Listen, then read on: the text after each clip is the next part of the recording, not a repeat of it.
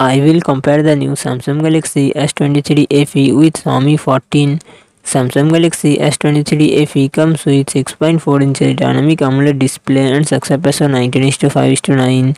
Xiaomi 14 comes with 6.36 inches LTPO OLED display and success ratio 20:9.